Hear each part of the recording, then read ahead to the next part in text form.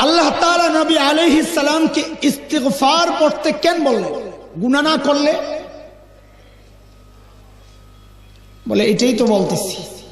ওস্তাদের কাছে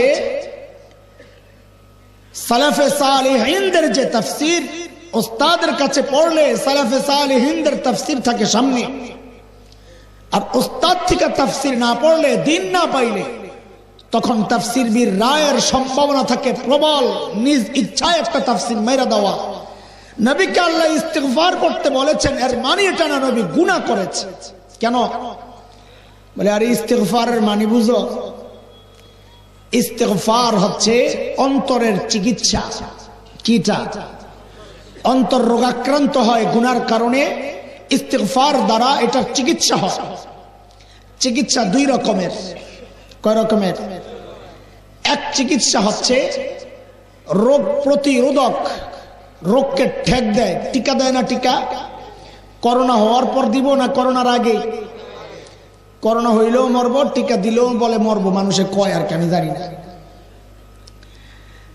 করোনার টিকা বাদ দেন, অন্য টিকা কর। রোগ হওয়ার আগে দেয় না, পরে দেয়। তাইলে এই চিকিৎসা হচ্ছে রোগ প্রতিরোধক, রোগকে ঠেক দেওয়ার জন্য এই চিকিৎসা। আরেক চিকিৎসা হচ্ছে রোগ প্রতিষেধক, রোগকে ভালো করার জন্য চিকিৎসা। বলে ঠিক ইস্তেগফার ও চিকিৎসা, এই চিকিৎসা দুই রকম। এক চিকিৎসা গুণাকে ঠেক দেওয়ার জন্য, আরেক চিকিৎসা হচ্ছে ভেতরের গুণাকে পরিষ্কার করার জন্য। বলে নবীকে আল্লাহ বলেছেন ইস্তেগফার পড়ো, এটা রোগ প্রতিষেধক হিসাবে না, রোগ ভালো করার জন্য না, বরং রোগের প্রতিরোধক হিসাবে রোগকে ঠেক দেওয়ার জন্য। বলে, এই ব্যাখ্যা আপনি কই পেয়েছেন? গাদা, আমি কই পাবো? নবী নিজে কইছে। হাজরত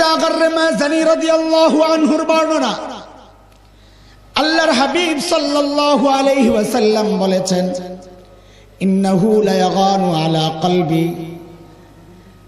حتى أستغفر الله كل يوم مئة مرة أو كما قال عليه الصلاة والسلام আল্লাহর হাবিব বলেন আকাশের মেঘ মালার মতো মেঘ যেমন মাঝে মধ্যে উকি ঝুঁকি দেয় আকাশের মেঘমালার মতো আমার অন্তরেও গুনার ইচ্ছা উঁকি ঝুঁকি দেয় এটাকে ঠেক দেওয়ার জন্য আমি প্রতিদিন একশো বার ইস্তেফার পড়ি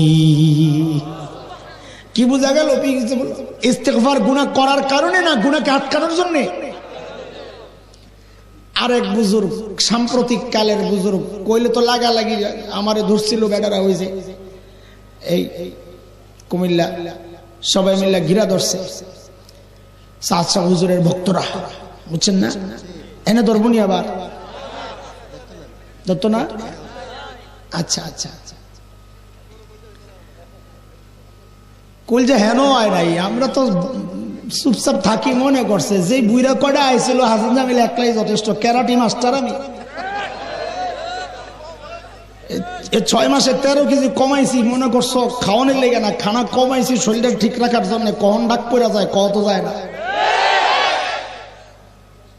শুধু একটাই মাকসাদ, ওই আরামে থাকব, অনেকদিন বাঁচুম, ওই জন্যে স্বাস্থ্যের এত খেয়াল করতেছি না, খালি একটাই, কখন ডাক পড়ে, আল্লাহ যা করে।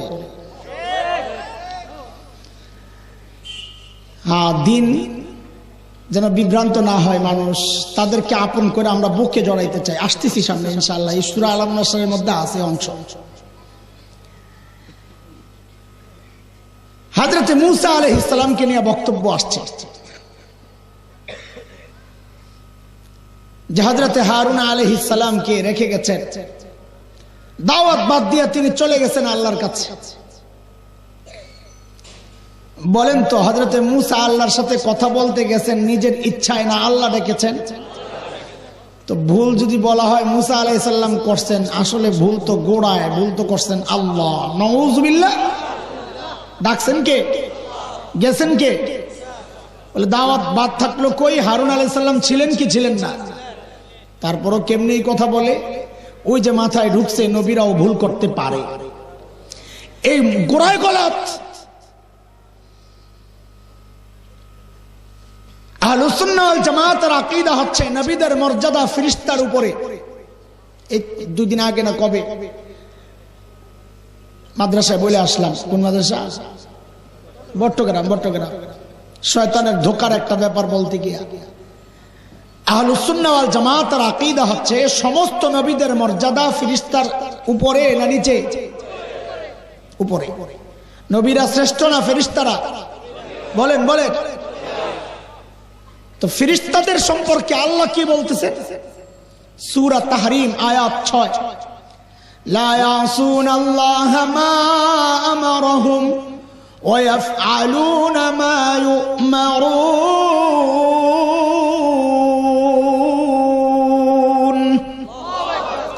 আল্লাহ বলেন ফিরিস্তারা মাসুদ ফিরিস্তারা কি লা ইয়াসুন আল্লাহ মানে ফিরিস্তারা মাসুদ কার স্বীকৃতি এটা বলেন কার কার?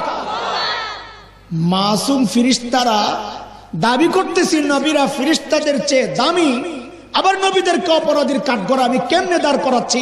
অথচ তার চেয়ে নিচের মর্যাদার ফিরিস্তারা মাসুম। বলে আজিব চিন্তা। হ্যাঁ নবীরা গুণা কেন করেন না? গুণা করার আবার আরেক পেস ঝামেলা কয়টা সামলামো কর। আরেক পেস হইল আরেক গ্রুপ আছে, বাড়াবাড়ি গ্রুপ তাদের বিশ্বাস হচ্ছে নবীদের গুনাহ করার ক্ষমতাই নেই। আহলুসুন্নাওয়াল জামাতের আকিদা হচ্ছে, নবীদের গুনাহ করার ক্ষমতা আছে, কিন্তু গুনাহ করেন নাই। ক্ষমতা নাই, গুনাহ করেন নাই, এর মধ্যে কোনো কৃতিত্ব নাই। এক লোকের জন্ম থেকে দুই পাও কাটা। এক গর্বের সাথে বলতেছে, জীবনে কিছু করি আর না করি, একটা ভালো কাজ আমার জীবনে আছে। বলে, কি? আমার জীবনে আমি কাউরে লাথি দেই নাই। বলেন, চোখ নাই, জন্মান্ধ, জন্ম থেকে অন্ধ। আমি খারাপ মানুষ হইতে পারি, কিন্তু আমার একটা ভালো গুণ আছে। বলে, কি? আমি কোনোদিন গায়ের মাহারামের দিকে তাকাই নাই। যে যার দিকে তাকানো হারাম, তার দিকে আমি আরে তো তো চোখই নাই, তুই কেমনে তাকাবি বলেন? এই কথা বললে মানুষ তার প্রশংসা করবে না, আসবে? নবীদের যদি গুনাহ করার ক্ষমতা নাই থাকে, তারপরে গুনাহ থেকে বেঁচে আছে, এটা তো হাসির কথা। গুনাহ করার ক্ষমতা ছিল, কিন্তু গুনাহ প্রমাণ?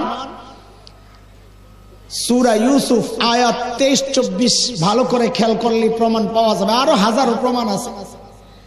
وراودته التي هو في بيتها عن نفسه وغلقت الأبواب وقالت هيت لك. قال معاذ الله.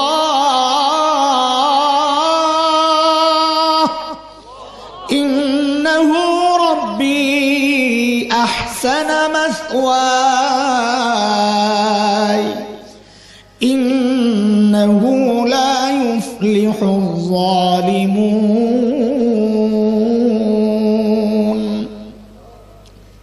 নাম্বার তেইশ এটা দলিল না পরের আয়াত ولقد همت به وهم بها لولا أن رأى برهان ربه এই কি স্পষ্ট কথা আল্লাহ বলছেন জুলাইখা হাম হাম ওই যে আগেও বলেছি অন্তরের প্রাথমিক ইচ্ছা এটাকে বলে হাম জুলাইখা হাজরতে ইউসুফের সাথে গুনাহ করার কু ইচ্ছা প্রকাশ করেছে।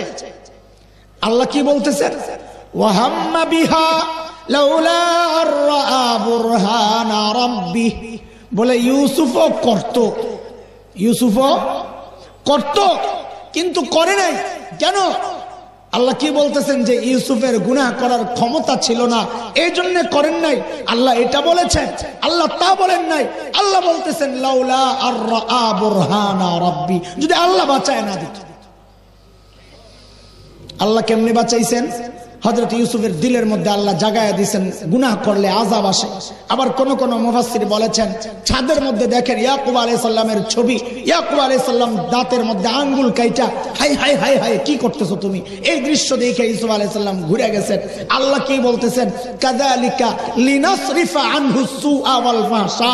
এইভাবে আমি ইউসুফকে বাঁচায় দিছি। কে বাঁচাইছে? কে বাঁচাইছে? আল্লাহ বলতেছেন, আমি বাঁচাইছি। তার মানে ইউসুফ আলাইসাল্লামের গুনাহ করার ক্ষমতা ছিল। এমন না, গুনাহ করার ক্ষমতা ছিলই না। এই জন্য বেঁচে গেছেন।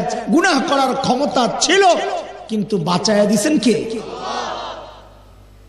তার মানে নবীদের গুনাহ করার ক্ষমতা ছিল, কিন্তু একদল আছে, কয় গুনাহ করার ক্ষমতা ছিল, গুনাহ করেছ না।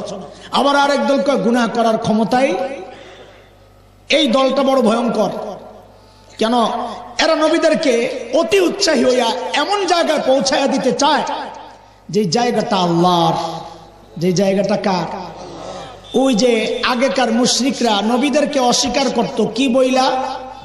মালি রসুল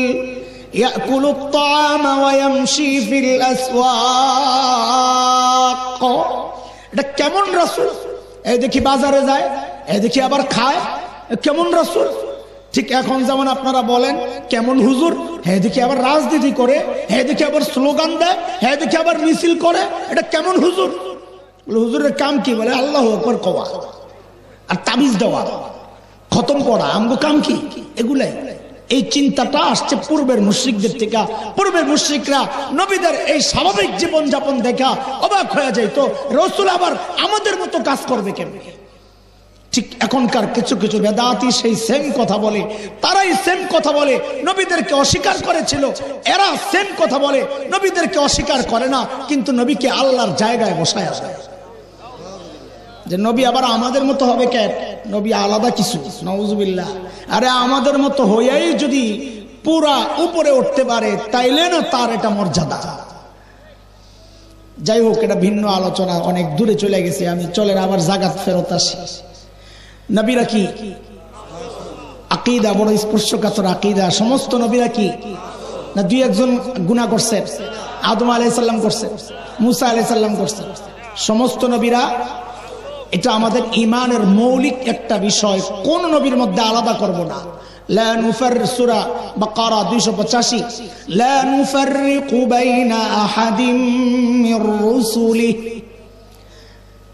কয়েক বছর আগে বাংলাদেশে একটা টেলিভিশন ছিল এস এ টেলিভিশন। যারা টিভি দেহ হেরা অন্তত হক ডরেও কয় না। আরে আছে একটা টেলিভিশন আছে, আমরা জানি, আমরা না দেখ- না তো আমরা জানি না, তো তুই দেখলে জানলে সমস্যা কি? দেখোস না, অসুবিধা কি? এবার ক আসেনি তাও কয় না। এস এ টেলিভিশনে মুরব্বীরা খেয়াল করেন কেন আমরা এত চিল্লাই হারে আপনার তো খবরও নাই, ঘটতেছে কি? চিল্লাইবেন কি? আপনি জানেন না, ঘরে আগুন লাগছে। খালি দোষ দেন আমগ। আমি দারোয়ান, আমি দেখতেছি টাকা দিতেছে এখন যদি আমি চিল্লাই আপনি যদি কনে আমার ঘুমটা ভাঙ্গিস না, অসভ্য কথা কার? দোষটা কার? আপনি উচ্চায়া দেখেন না, ঘরে ডাকা ঢুকতেছে। কেন চিল্লাইতেছে, একটু বুঝেন? বুঝতেও চান না। আর, এরা তো আরও জঘন্য। এরা বুঝেও না। আমরা বুঝাইতে চাইলে আমরা কই বুঝো? এরা কই বুঝব না তোর লোকে খেলা হবে। গাদা, এটা খেলার জিনিস না, এটা বুঝার জিনিস। ওলামায় বলে, বুঝো? হ্যাঁ বলে, খেলা হবে। খেলার জিনিস নাকি? বুঝার জিনিস বুঝতে হয়, খেলার জিনিস আলাদা। ঠিক আছে না কথা? তো এস এ টেলিভিশনে একটা প্রোগ্রাম ছাড়ছিল, ইউসুফ জুলাইখার প্রেম কাহিনী। নওয়াজুবিল্লাহ কোয়েন না, থাক।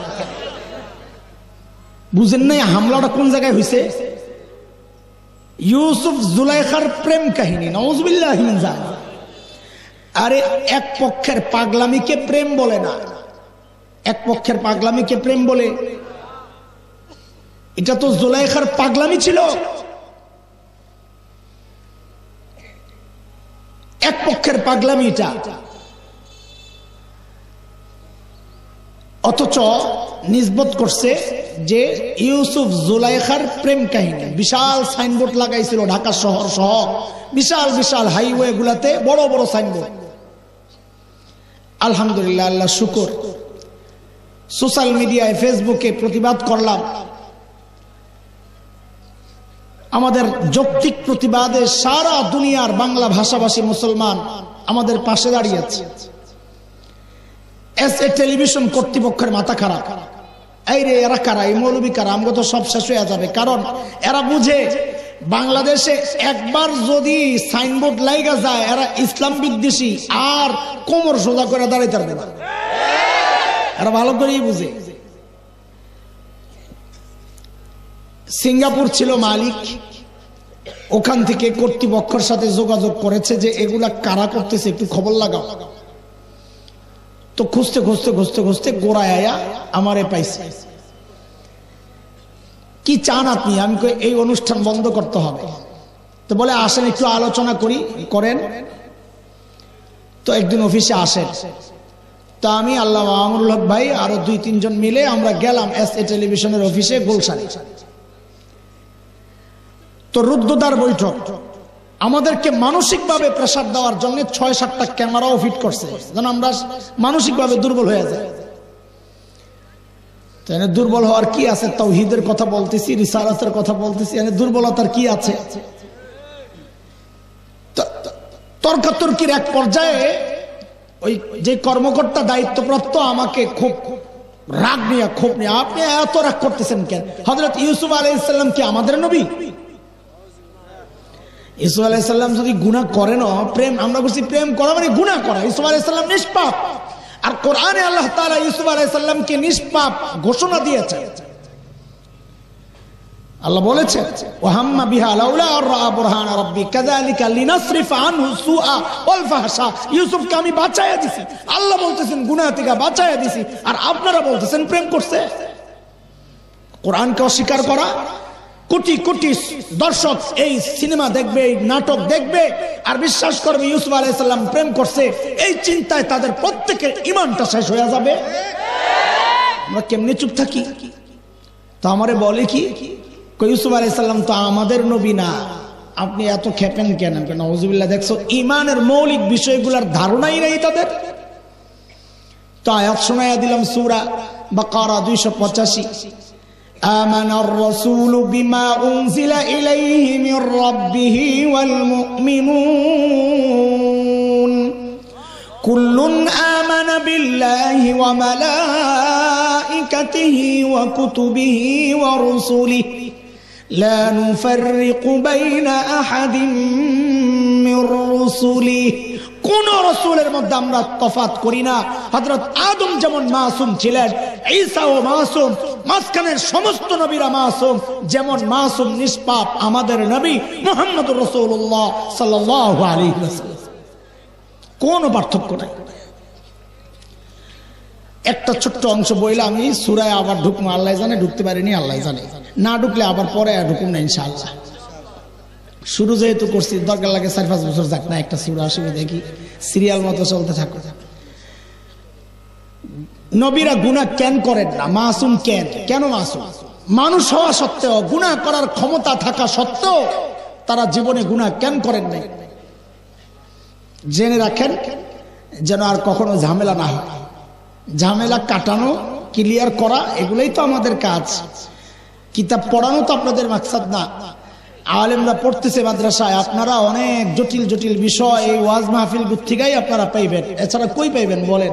বই, কিতাব দেখা তো এই জটিল মাসালা, আপনি হল করতে পারবেন না। মাদ্রাসা এসে বসে থাকাও আপনার পক্ষে সম্ভব না। তাবলিগে গেলে আপনারা তো ওই সই উসুল ছাড়া বাইরে নিবে না। স্বাভাবিক, এটাই হওয়া দরকার। তা আপনি এই জটিল কথা কই পাইবেন? আপনার আকিদা তো শেষ হয়ে যাচ্ছে।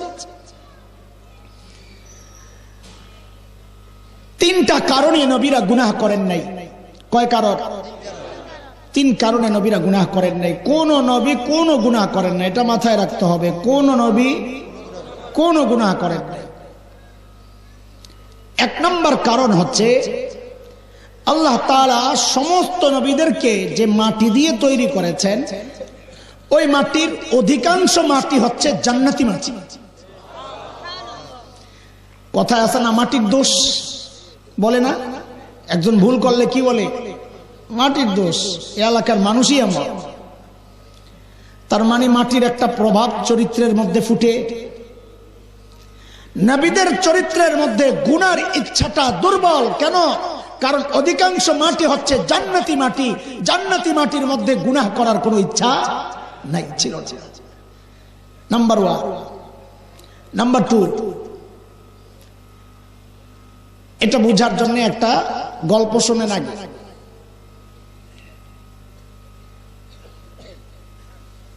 কাসিমুল উলুম ওয়াল খায়রাত। ইমাম কাসিম নানতুবি রহমতুল্লাহ আলাইহ। আল্লাহ দিছিলেন মাথা একটা। সাধারণ মানুষকে বুঝানোর জন্য এমন এমন উদাহরণ দিতেন মানে আজব কই পায় এগুলা? আল্লাহ ঢেলে দিতেন। খাদেম ছিল একটা সাথে। একটু বোকা টাইপের। মাঝে মধ্যে আজব আজব প্রশ্ন জিজ্ঞেস করতো। এটা একটা সুবিধা, ওই প্রশ্নের কারণে অন্যরা যেমন সাহাবাহাম অপেক্ষায় থাকতেন, একজন গ্রাম্য মানুষ আয়নাকে বলে, কি জন্যে?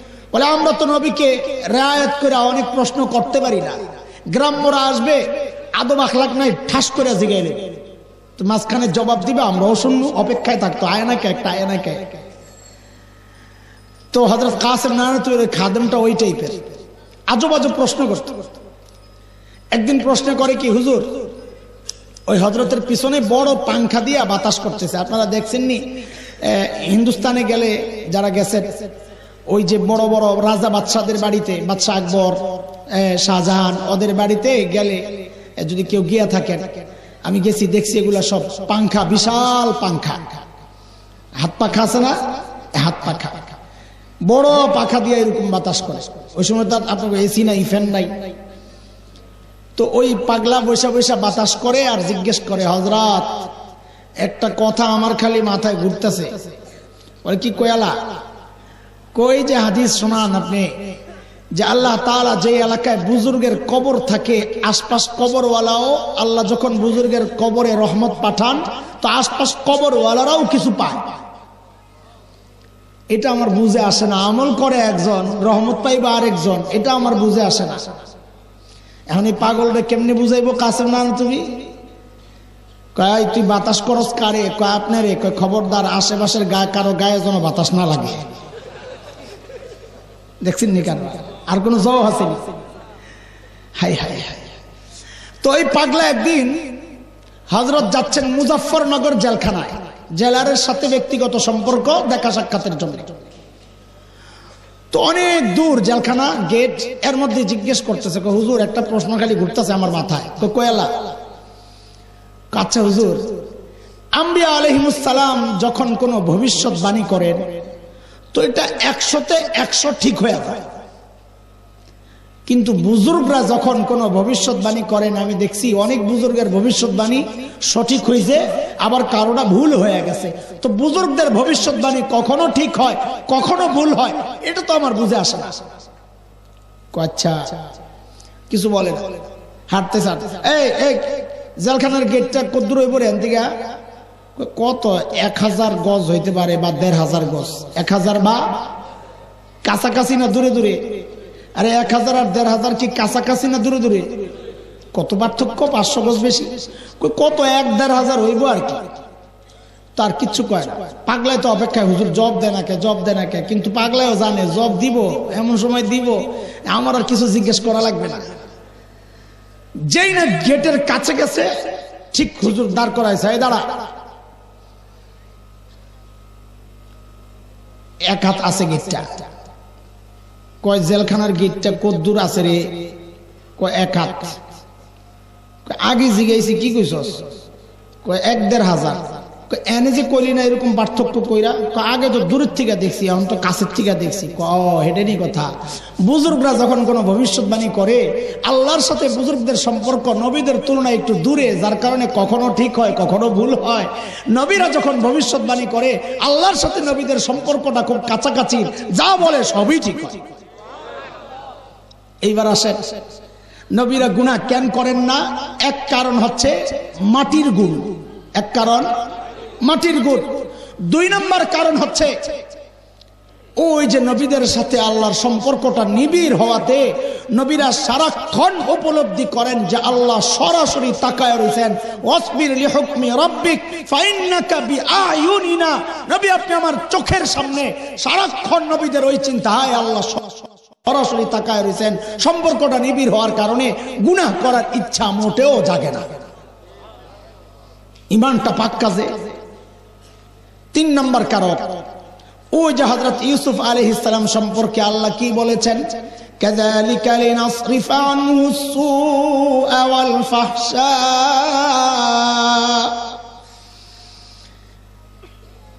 বাঁচায়া দিছি আমি কে বাঁচাই দিছে আল্লাহ বলতেছেন, বাঁচাইছেন কে?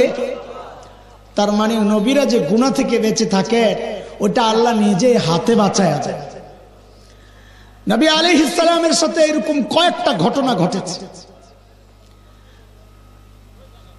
ছোট্ট বয়স, বড় ধনী ঘরে গেছেন, বিয়ের দাওয়াত খাইতে। নবী আলহ তো বিয়ের অনুষ্ঠানের সিস্টেম আগের থেকে এরকম চলে আইতেছে, যত বড় লোক তত গুণা। বলেন না?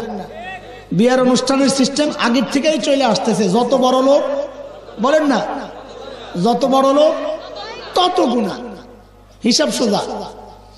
ব্যতিক্রম এক দুইটা, এটা হিসাব করে লাভ নাই। তো নবী আলহ ইসলাম এক বড় লোকের বাড়িতে বিয়া খাইতে গেছেন, তখন পিচ্ছি, ছোট। যায়া দেখে এমন গান বাজনা হইতেছে রে ভাই সুহান আল্লাহ এখন কি করবে? বিয়ার মজলিসে গেছে, আসতেও পারে না, থাকতেও পারে না। কিন্তু ভালো লাগতেছে না। যদিও তখন ওহি আসে নাই, নবুয়ত পান নাই, ছোট বাচ্চা। কিন্তু ওই যে ফেতরাতান আল্লাহ বানায় রাখছেন, নবুয়তের আগেও নবীরা গুনাহ করেন নাই, নবুয়তের পরেও গুনাহ করেন নাই, আল্লাহ নিজ হাতে বাঁচায় রাখছেন। নবী বলেন, হঠাৎ আমার এমন ঘুম আসলো, ঘুমের থেকে উঠে দেখি সকালবেলা সব বিয়াটিয়া খায়া কই গেছে কোনো খোঁজখবর নাই। কাবা পুনর্নির্মাণ চলতেছে। শর্ত দিছে দুইটা।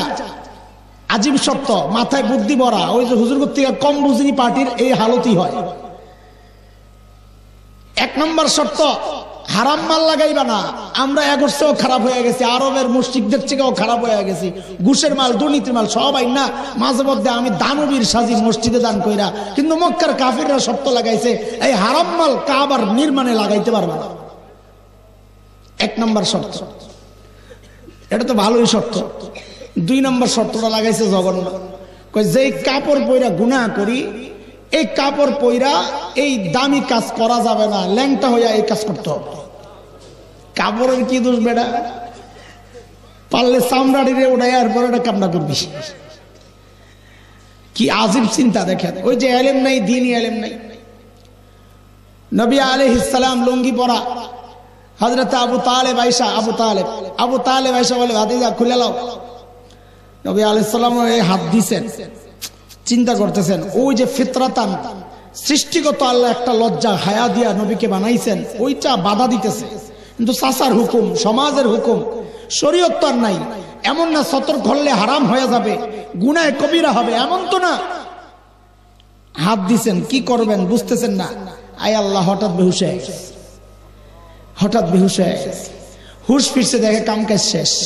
আল্লাহ নিজ হাতে বাঁচাইয়া দিছে। কাফেররা নবীকে প্রশ্ন করেছে কয়েকটা। কালকা উত্তর দেব। ওহি বন্ধ হয়ে গেছে। এটাও একটা ঘটনা। আরেকটা হচ্ছে ফতরাতে ওয়াহি, তিন বছর। ওহি আসে না। আগ্রহ তৈরি করছে। আমাদের শেখুল হাদিস আল্লামা আব্দুল হাফিজ রহমতুল্লাহ আলাই বলেছেন, বিয়ে করে না পোলাপায় বছরকে বছর থাকতে পারে। বিয়ে ছাড়া পনেরো বছরে বালেগ হয়েছে, বিয়ে করছে পঁচিশে, তিরিশে। এত কষ্ট হয় নাই। কিন্তু দুই মাস হয়েছে বিয়া করছে বৌরে সাইরা বিদেশ গেছে, কানতে কানতে শেষ। তো তুই এই বিশ বছর, পনেরো বছর শৈলী কেমনি রে? এই সময় তো বুঝি নাই কিছু। তো বলে, নবী আলহ ইসলাম ওহি পাইয়া, ওহির মজা পাইয়া, যেই না ওহি বন্ধ হয়ে গেছে, এখন পাগল হয়ে গেছে, অস্থির হয়ে গেছে। পাহাড়ে উঠছে যায় নিজেকে শেষ করে দিবে। চিন্তা করা যায়। অস্থির। জিব্রাইল আমিন যায় ধরছেন মোহাম্মদ, কি করেন আপনি? আল্লাহ তালা আমার নবীকে ওই সময় গুনাহ থেকে বাঁচায়া দিছেন। নবুয়তের পরেও নবুয়তের আগেও মহাকিকিনরা বলেন, নবীরা গুনাহ না করার এটা একটা বড় কারণ যে আল্লাহ নিজ হাতে নবীদেরকে গুনাহ থেকে বাঁচায় রাখছে বাদ দেন আল্লাহ প্রিয় হাবিবকে সান্ত্বনা দিয়ে বলছেন, আলাম নাশরাহ লেখা সাদারক। নবী আমার, আমি কি আপনার সিনা উন্মুক্ত করে ভিতরটা পরিষ্কার করে দেই নাই? ওই যে জিব্রাইল আমিন ভিতরটা ধুয়েছেন, ওই কথার থেকে গেলাম ওদিকে। কেন ধুইলেন? বলে ধোয়ার কারণ হচ্ছে ওই যে নবীর ভেতরে মানবীয় গুণের কারণে গুনাহ করার যে একটু আত্মু ইচ্ছাটা ছিল, জিব্রাইল আমিন আইসা ওইটারে পুরাপুরি ধুইয়া নবীকে আল্লাহ তাআলা আরও নিরাপদ করে দিয়েছেন যেন কোনোভাবে গুনাহ করতে না পারে। এটাও একটা অর্থ, আলাম নাসরাহ লাকা সাদরাকা। বুঝে আসছে নি কথা? চলেন, দুই নম্বর আয়াতে যাই। এই এক আয়াতে এতক্ষণ থাকলে আপনারা করবেন, হুদাই বুঝি বেড়ায় সময় কাটাইছে। আমি দৌড়াইতেছি, আমি বুঝতেছি, কত কিছু বাদ দিছি। ওই যে এসে টেলিভিশনের কাহিনীও তো শেষ করি নাই, তাড়াতাড়ি আয়া পড়ছি। বেড়ারা শেষে আমগো দাবি মাইনা লইয়া ওই সাইনবোর্ড সুইনবোর্ড যা আছে সব নামাইয়া নতুন করে সাইনবোর্ড বানাইছিল, সেটা হচ্ছে ইউসুফ জুলাইখা। প্রেম কাহিনী বাদ দিছে। বলে, ঘটনাটা দেখাই হুজুর, বহুত টাকা ইনভেস্ট করে লাইছে, নাহলে আমরা শেষ হয়ে যাব। তা আমরা চিন্তা করলাম, এরা যদি কোর্টে যায় তো এরা জিতে যাবে, কারণ কোর্ট তো আর মৌলবিক দ্বারা পরিচালিত না। তখন আমাদের কিচ্ছু করার থাকবে না। তার চেয়ে বরং যেটুকু মানছে, আলহামদুলিল্লাহ। পরে চালাইছে, খোদার কসব। যখনই রাস্তায় ওই সাইনবোর্ড দেখতাম সাইনবোর্ডের দিকে তাকাইলে যখন দেখতাম নামটা পরিবর্তন, ইউসুফ জুলেখার প্রেম কাহিনী এই জায়গায় লেখা, ইউসুফ জুলেখা সাথে সাথে দিলটা শান্তি হয়ে যাইতো আল্লাহ ডাক দিয়ে বলছি, আল্লাহ আল্লাহ, তোমার এই গোলাম এই কাজটা করছে মালিক। তোমার এক নবীর ইজ্জত রক্ষায়, তোমার এই গোলাম মেহনত করেছে। আজকে ওই সাইনবোর্ডে প্রকাশ পাইতেছে, যতটুকু আমার দ্বারা সম্ভব আমি করেছি। সাইনবোর্ডে প্রকাশ পাইতেছে যে, না, তোমার নবী কোনো গুনাহ করে নাই, তোমার রসুল কোনো গুনাহ করে নাই। দিলের শান্তি, এটা আমার দিলের শান্তি, এই জন্য বললাম আপনাদেরকে। দুই নম্বর আয়াত মালিক বলেন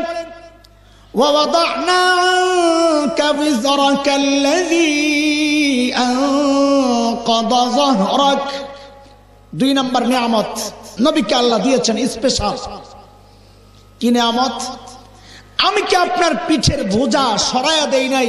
যে বোঝা আনকাদা জহরাক আপনার কোমরকে ভেঙ্গে দিচ্ছিল।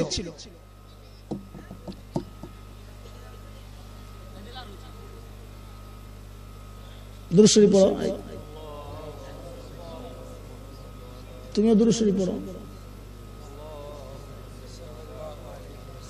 আল্লাহ আয়া পড়ছে স্টার্ট না করতে আয়া পড়ছে। সল্লাহ পড়লে কি হইব? দুরুদ ডিস্টার্ব না করতেই লাইন আয়া পড়ছে। তো যেটা সল্লাহ টান দিতাম কি হইতো আজকে সুহান ও হাবিরা তো চিনলো না, বুঝলো না।